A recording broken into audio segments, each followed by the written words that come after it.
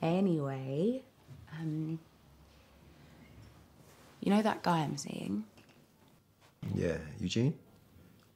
His name is Lee. Well, he's asked me to move in with him.